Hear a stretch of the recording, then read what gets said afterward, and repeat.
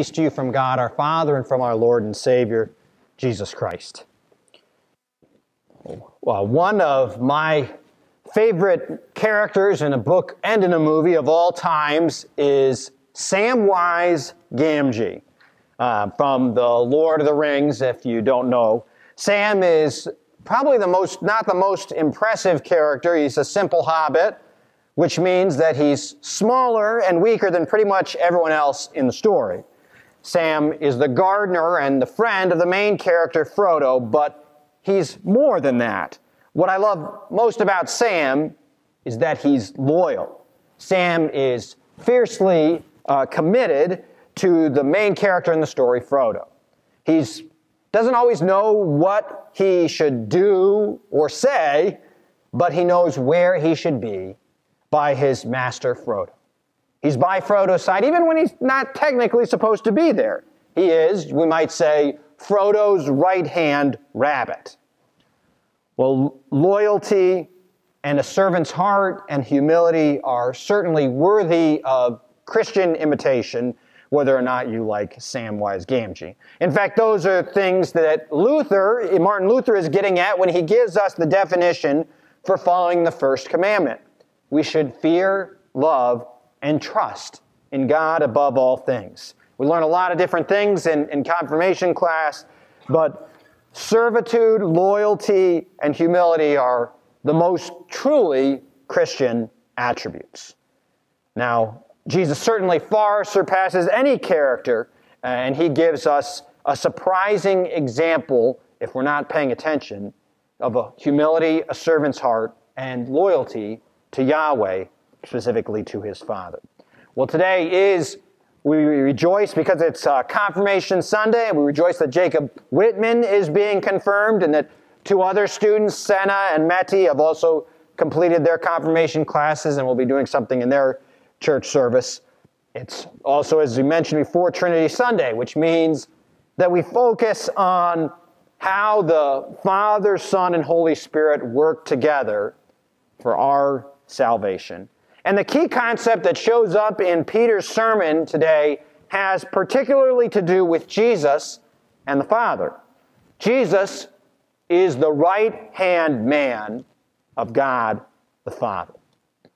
You probably know what a, a right hand man or right hand woman is someone who is, can be completely counted on to do what uh, whoever the, their superior is, to do exactly what the superior wants. To, if you are the superior, or right hand woman or right hand man as someone you can trust to carry out tasks even when you're not there. Well, Peter explains to uh, a wondering crowd at Pentecost what's going on and who Jesus was. Now, this is Pentecost, which means it's one of the, the three pilgrimage festivals. So there's lots of visitors in Jerusalem, which explains why there's so many people speaking so many different languages gathered at this time. But even though there were lots of visitors to Jerusalem, probably most of them were already aware of Jesus because uh, Jesus was clearly the biggest news story of the year in Jerusalem. Plus, some of the people who had traveled to Jerusalem at Pentecost had also traveled to Jerusalem at the last pilgrimage festival, which was the Passover. And what had taken place the last time many of them had visited during that Passover? Well, Jesus had been tried publicly or tried and publicly crucified.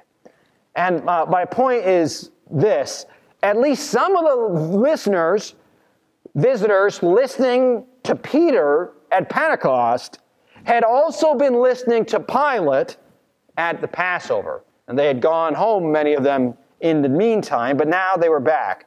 And some had probably witnessed a variety of different things, or maybe even been caught up in the fervor of the moment, calling out, Crucify him. And so this crowd is probably already intrigued by more info about Jesus, and some of them perhaps are feeling a little bit ashamed of themselves and how they had acted. Peter, though, will make matters much worse for their guilty conscience. It's bad enough, right, to kill a wise man or a moral teacher, who espouses nonviolence and positive change. But who was this man they had killed? Well, Peter's answer is that this man, Jesus of Nazareth, was, in fact, the right hand man of God. Jesus was not just an innocent man. Jesus was not only a good man, Jesus was God's right hand man sent to redeem and rule Israel. He was a man whom God had trusted and appointed to rule, just like King David before him, which was exactly what the people were saying they were hoping for. Jesus was, in fact, this promised Messiah. The many miracles, Peter says, wonders and signs that God performed, as you yourselves know, through Jesus, right in the middle of God's people, was clear proof that he was not just any man, as even Nicodemus, a man of the Sanhedrin, says. But you shut out the truth, and you delivered Jesus to be killed by lawless men, the, the, the Gentiles, the Romans, who don't have the Torah, the law. This was God's right hand man. And yet, God's people had rejected his message of reconciliation and they'd preferred revenge, power, and bitterness. However, since this was God's right hand man, God had not abandoned him, and even death could not stop him. Israel had rejected Jesus as its rightful ruler, so what did God do? God decided instead to make Jesus the ruler not just over Israel, but over the entire world. The ascension meant that Jesus was raised up to rule at the right hand of the Father.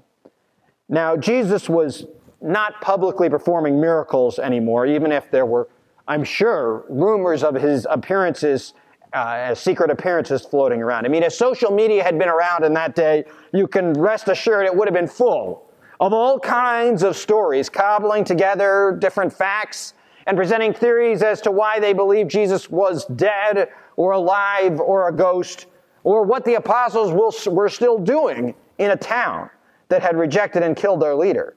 But the question that everyone, believers, doubters, and haters all alike, were asking was if Jesus is alive, why isn't he showing up anymore? And the answer is that Peter gives is he's ascended. He's moved on. He's finished what he came to earth to do, and now you might say he's been promoted to rule the heavens and the earth. It's very simple. Jesus isn't here anymore. Why? Not because he doesn't have, not because he can't be, but because he's got somewhere more important to be. Jesus has been raised to rule at the right hand of the Father. Now, now Jesus is not just the right hand man of God, he's ruling at the right hand of God. And Peter says, again, listening to the crowds uh, who have taken part perhaps in Jesus' death, he says, The man you opposed as Israel's anointed has instead been anointed to rule over the world. And now, this is normally the moment in the story where the enemies of God would be overcome and destroyed. After all, what had they done? They'd not just they'd not just been slow of heart to believe, they'd actually rejected and killed God's right hand man, the Messiah. They had been in God's way, actively opposing the very hero sent to them and Savior of God. But shockingly, these people are not destroyed. The point of Peter's sermon and of Jesus' crucifixion, we can see, not just for them, but for us, was not simply to execute justice on those who unjustly executed Jesus. The point was so that the world which had so vehemently called for Jesus' death might be given life. God didn't want to overcome his enemies. Rather, he wanted his enemies to be overcome with remorse and to cry out to him for the forgiveness that they needed even before this. Which is why Peter's call for repentance and invitation to the guilty parties to be baptized into Jesus for their salvation is met with, uh, with over 3,000 people repenting and accepting this gracious offer. Jesus still is at the right hand, and he is, we might say, the right hand man of God, although that's not all he is. But it's important as we think about and Jesus' ascension, or maybe a better way for us to think about it is why is Jesus not here? Because we ask that question a lot. Why isn't God doing something? Well, the point is that Jesus' ascension is not about escaping his enemies, but about ruling over creation. So Jesus is doing something. It's not the same, well, it's the same sorts of things, but he is now ruling the heavens and the earth. In the Psalms, David prophesies about this several times, and, and he said to Yahweh, To my Lord, that his Lord would sit at God's right hand. And David certainly never rose and ascended to heaven to rule at God's right hand, but that is the story that Peter is telling about Jesus, which makes Jesus far greater than David. In fact, he is, as David said, David's Lord. Um, the Jewish people had wanted David to return, but what they got was something even better. They got the Lord and King of David.